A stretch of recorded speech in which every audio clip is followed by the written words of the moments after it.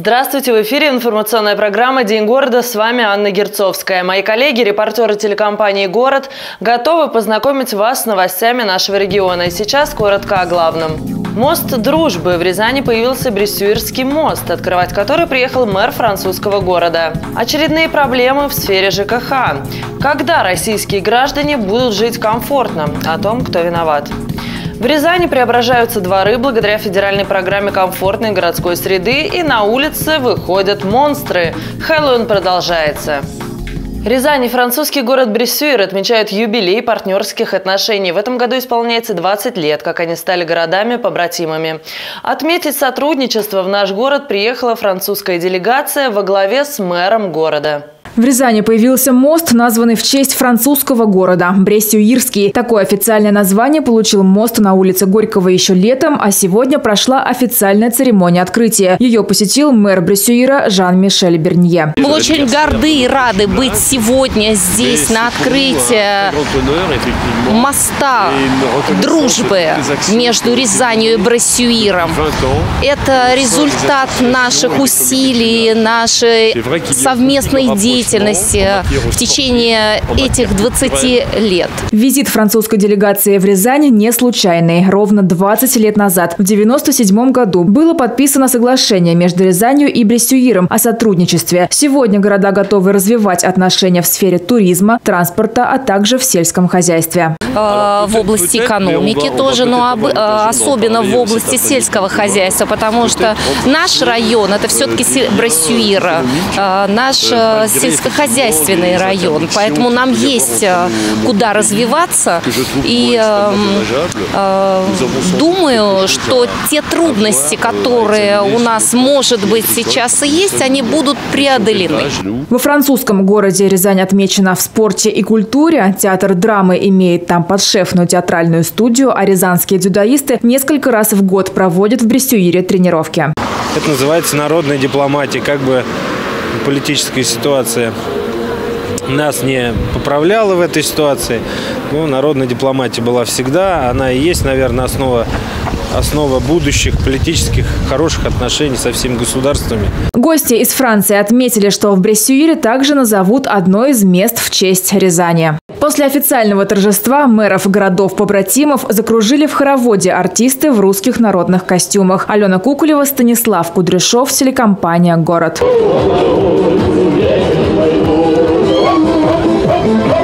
Свой пост покинула Татьяна Пыжонкова, которая занимала пост главы регионального министерства спорта. Об этом сообщила пресс-служба областного правительства. Теперь министром спорта стал Сергей Крянников. Во вторник, 31 октября, Николай Любимов представил нового руководителя исполнительного органа и вручил ему удостоверение. Соответствующее распоряжение о назначении Икрянникова губернатор подписал в понедельник, 30 октября. Ранее Икрянников возглавлял управление физической культуры, спорта и молодежной политики города Сасова. Напомним, Татьяна Пыжонкова была главой регионального Минспорта с 2012 года.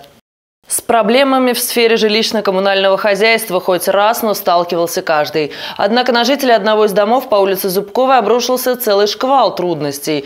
Огромные задолженности по горячей воде отоплению, протекающая крыша. И вот он, извечный вопрос, кто виноват и что делать.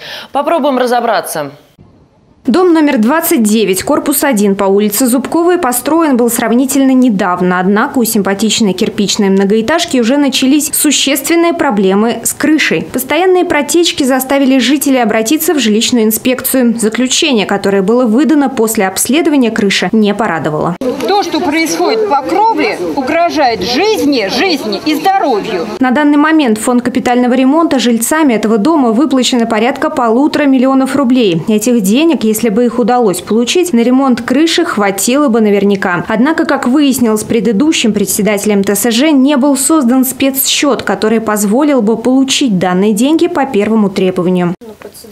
Процедура передачи документации, которая своевременно не была передана предыдущим председателям. Я так это понял. То есть э, существуют определенные нормы. Вот проведено общее собрание, вы должны документы подтверждать, что вы решение приняли э, о формировании фонда на специального счета у себя ТСЖ или передавать региональному оператору ваши деньги. То есть или это ваша общая кубышка, из которой можете брать там на ремонт крыши, труб, или отдаете региональному оператору. Но если региональному оператору отдаете, то включается программа проведения капремонта, которая, возможно, даст вам возможность вам не даст возможность, допустим, дожить до этого периода, потому что это будет в 2040 году. Действительно, таков закон. В Министерстве жилищно-коммунального хозяйства Рязанской области жителям предложили лишь один вариант решения данной проблемы. Нам отвечают, что вы можете собрать собственные деньги, а нужно сейчас полтора миллиона, а потом постфакту то, что вы потратите каждый из жильцов, вы не будете платить фонд капремонта. То есть получается полтора миллиона собрать со всех жильцов, можете себе представить, получается в среднем, если на каждую квартиру, до 10 тысяч нужно собрать. Сейчас ремонт крыши начат на средства жильцов. Удастся ли добиться каких-то выплат из фонда капитального ремонта, пока не ясно. Однако крыша далеко не единственная головная боль жильцов данного дома. Еще больше их заботит ситуация, которая сложилась с оплатой горячей воды и отопления. Дело в том, что до 1 июля 2016 года был э, норматив у всех домов одинаковые. А сейчас э, те дома, которые до 99 года, им норматив увеличили. А вот те дома, которые после 99 года, норматив уменьшили. И на наш дом э, норматив 185 гекалорий на один квадратный метр. И, естественно, мы производили оплату, но, как и раньше, по нормативу. Э, после отопительного сезона мы всегда видели, какая сумма у нас излишне оплаченная, потому что по счетам нам теплосеть выставляла по общедомовым счетчикам, которым мы ежемесячно предоставляли им данные. А сейчас получилось так, что у нас по нормативу мы производили оплату, а теплосеть нам выставлял по общим домовым, и получилось, что по нормативу оказалась сумма меньше, чем по общедомовым счетчикам. С горячей водой та же ситуация. В квартирах стоят индивидуальные счетчики, по которым и платят жильцы за кубы, а считаем выставляют за гигакалории по счетчику общедомовому. И суммы существенно разнятся. Я ходила в теплосеть, я разговаривала с, э, с Базарь Владимир Михайлович. Ну, он просто сказал, что такое есть постановление, что оплата должна быть по гикалориям. Я говорила, что это нереально платить практически за себя и за того парня получается. Если в домах, где отсутствуют общедомовые счетчики, у них все хорошо, они платят по кубам, почему мы должны за кого-то производить оплату? Ольга Макроусова была избрана председателем ТСЖ «Уютный дом» лишь месяц назад. Сейчас в глазах жильцов именно она повинна в том, что происходит. Ведь дабы избавиться от долга, Ольга распределила его между жильцами, чем вызвала возмущение соседей. Нас никто не предупредил. Вот э, работники ТСЖ, значит, руководители, нас не предупредили заранее, что мы должны не поправили. Если мы платили неправильно, нас никто не поправил. И вот теперь спонтанно нам выставляют, вы посмотрите, какие тарифы. Я вот должна помимо вот э, суммы за квартплату ежемесячную, мне еще начисляют почти 6 тысяч. Итого выходит у меня 9 тысяч. Я могу заплатить. Однако Ольга Макроусова как может пытается разобраться в сложившейся ситуации. Для этого она обратилась в городскую ассоциацию защиты прав потребителей. Что-то можно сделать, потому что я не буду говорить о каком-то сговоре э, региональной энергетической комиссии с монополистами, которые являются поставщиками э, энергоресурсов. Но, тем не менее, хотелось бы все-таки объективности в исследовании тех тарифов, которые формируются и утверждаются. Проблема долгов у этого дома возникла не сегодня и не вчера. Она тянется за жильцами уже на протяжении восьми лет. И понять причину этого весьма непросто. Есть несколько вариантов. Сумма показаний приборов, всех э, приборов учета по дому должна быть, э, в общем-то, э, идентична, как при, при общедомовом приборе. Но там есть еще и коммуникации, которые проходят до квартиры. Вот надо смотреть их состояние. Если же эти коммуникации в ненормативном состоянии, ненадлежащем, они, они не готовы, протечки есть там, потери тепла, тогда, да, образовывается э, долг, который не, не, надо всем выплачивать. Но это решение общего собрания должно. Каким образом они будут эту проблему решать, поскольку у них есть устав, и в уставе должно быть все это прописано. Чтобы понять, каков же механизм образования долга, мы отправили запрос в соответствующие инстанции и сейчас ждем ответа. Ирина Ковалева, Игорь Глотов, телекомпания «Город». Вообще сфера ЖКХ зачастую напоминает сумеречную зону. Так, на сегодняшний день объем задолженности, накопленный управляющими компаниями в нашей стране, составляет порядка 250 миллиардов рублей. Чаще всего это средства, собранные управляющими компаниями с потребителей, но не перечисленные ресурсоснабжающим компаниям. Вот как раз для того, чтобы исключить подобное, Министерство строительства и ЖКХ разработало законопроект о прямой уплате услуг ресурсоснабжающим организациям. Если мы будем напрямую платить, платежи могут снизиться на 20-30%. Поэтому я предлагаю инициировать проведение общих собраний, когда будут приняты соответствующие нормативные документы, для того, чтобы вы имели возможность напрямую платить ресурсоснабжающим организациям. Это, во-первых, исключит возможность воровства. А примеров и по достаточно было много, когда управляющие компании присваивали деньги потребителей коммунальных услуг. В одном из случаев было, был пример 22,5 миллиона рублей было присвоено управляющей компании, обслуживающей дома в Октябрьском районе города Рязани. Об этом многие читали в интернете. Вот. Чтобы этого не было, мы, как потребители, должны быть более грамотными и платить напрямую ресурсоснабжающим организациям. Согласно законопроекту, планируется ввести типовую форму единого платежного документа, то есть для потребителя данное нововведение никаких неудобств не создает. Документ разработан Минстроем России, согласован с заинтересованными ведомствами. И в министерстве рассчитывают, что депутаты Госдумы поддержат предложение и рассмотрят законопроект в осеннюю сессию. Ходить пешком по центру города становится опасно. Очередное обрушение крыши дома на улице Соборной. Часть кровли упала на пешеходную зону. если зимой с крыши здесь будет обваливаться снег, то сейчас сыпется камень. Аварийная лента у дома 64 не редкость. Она сообщает, что подходить близко к зданию может быть опасно для жизни. Рязанцам стоит быть аккуратнее. Вероятность падения кирпича на голову в этом районе возрастает в разы. Ежегодно 7 ноября в России отмечается памятная дата – День Октябрьской революции 1917 года.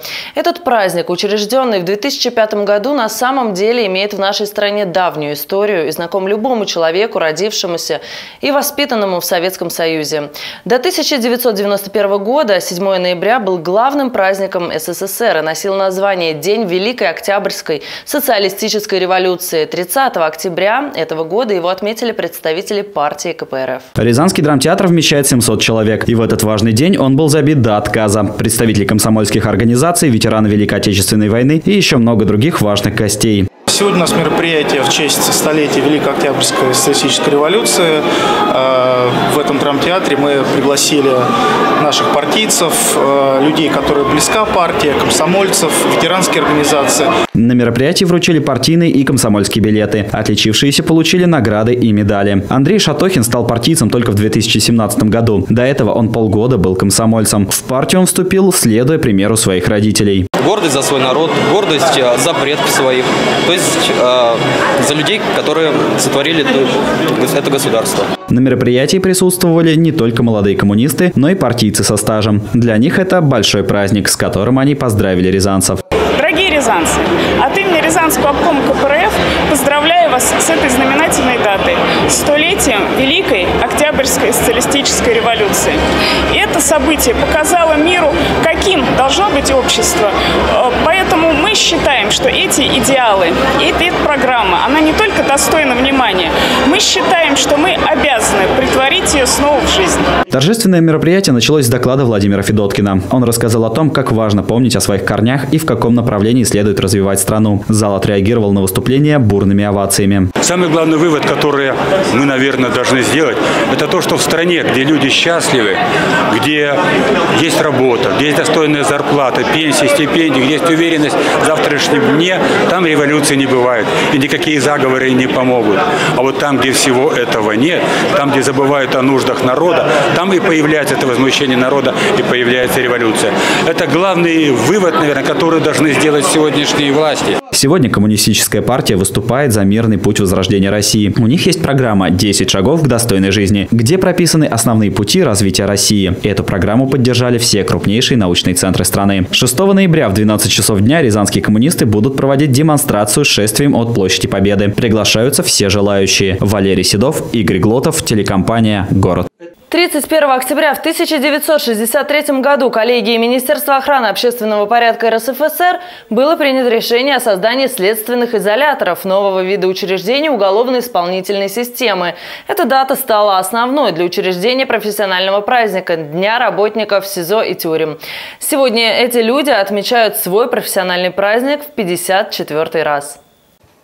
Следственный изолятор номер один у ФСИН России по Рязанской области, именуемый в народе тюремным замком, уже без малого два века используется по своему прямому назначению. Среди именитых узников Рязанского губернского тюремного замка историк Степан Яхонтов, священномученики Николай Анатольевич Правдолюбов и протоиерей Александр Александрович Андреев, он же Александр Рязанский, а также Ариадна Сергеевна Эфрон, дочь поэтессы Марины Цветаевой. Здание СИЗО-1 пережило правление пяти российских императоров императоров и революцию. Построенное в 1824 году, оно до настоящего времени не претерпело никаких серьезных изменений, так как является объектом историко-культурного наследия регионального значения. Нашему учреждению уже практически 200 лет.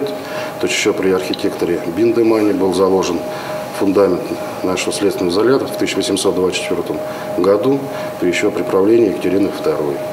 Изначально это уже был тюремный замок, и в настоящее время он признан как архитектурным наследием. Сегодня в следственном изоляторе успешно развиваются все направления деятельности, в частности медицинская служба. Каждого поступающего в СИЗО осматривает фтизиатр, каждый проходит флюорографию. Недавно здесь оборудовали современный стоматологический кабинет. Кроме того, у определенных категорий людей здесь забирают особенный анализ ДНК. К восьми прогулочным дворикам недавно добавились еще три. Вот этот, например, специально адаптирован для несовершеннолетних. Для подследственных, не достигших 18 лет, кроме того, проводятся специальные занятия занятия? Занятия у нас проводят с ними ежедневно.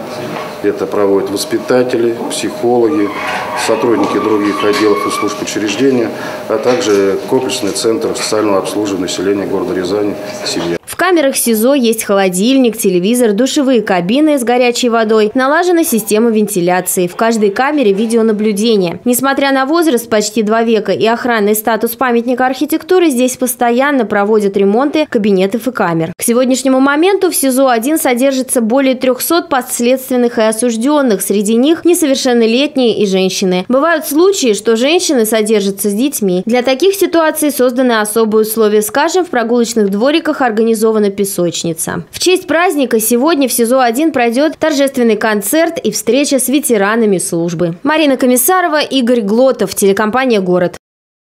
Праздник Хэллоуин отмечают во многих странах мира, в том числе и в России. Считается, что 31 октября стирается грань между мирами и на поверхность Земли выходят различные потусторонние сущности. Так это или нет, неизвестно, но ясно одно. В этот день каждый человек может проявить себя довольно неординарно. Многие считают, что наряжая странные костюмы, можно проявить свое альтер-эго. Хэллоуин никогда не был русским праздником. Празднуется он преимущественно в англоязычных странах, где дети, да и взрослые переодеваются в костюмы любимых персонажей и бродят так всю ночь. В России праздник только начинает обретать свою популярность. День всех святых – праздник для России очень необычный. К нам в страну он пришел в далекие 90-е и до сих пор не успел обрасти своими традициями, которые существуют в Европе или Америке. Тем не менее, ассоциация с праздником у горожан уже сформировалась. Яркий костюм и бросающийся в глаза грим. На улице такого человека встретишь встретишь нечасто. Александр празднует Хэллоуин уже пять лет. Сегодня он в костюме мексиканского бродячего музыканта Мариачи. Свои намерения объясняет очень просто. Для меня Хэллоуин – это веселый праздник, возможность раскрепоститься, попробовать что-то новое, примерить на себя иную личину. А, по сути своей, это как кино, в реальной жизни. Окружающие реагируют на меня в основе своей положительно. Они смеются, улыбаются, фотографируются. И это хорошо, ведь веселье – это прекрасное чувство. Стоит отметить, что русская церковь празднование Хэллоуина не одобряет. У православных есть свой День всех святых. Он приходится на первое воскресенье после праздника Святой Троицы в июне. В России Хэллоуин отмечают в ночных клубах. Массовых шествий в эту ночь не предвидится. Как и не стоит ждать вырезанных из тыкв лиц. А уж присоединяться к празднику или нет, каждый решает для себя сам. Валерий Седов, Юлия Пятницкого, телекомпания «Город». Это все новости на данный момент. Следите за событиями на нашем официальном сайте. До встречи!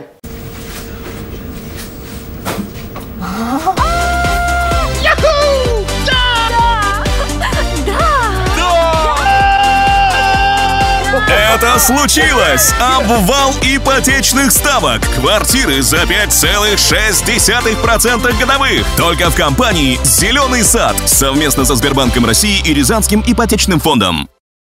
Жилой комплекс «Рассвет» в Дядьково – это пилотный проект фонда «Центр поддержки предпринимательства Рязанского муниципального района». Сбалансированной планировки одно- и двухкомнатных квартир, высокий уровень строительных и отделочных работ являются неоспоримым преимуществом данного проекта. Хорошая транспортная доступность и развитая инфраструктура в сочетании с тишиной и экологичностью загородной жизни. До конца октября действует акция «Скидка 3000 рублей с квадратного метра на квартиры на пятом этаже». Приезжайте, выбирайте, покупайте, живите, радуйтесь.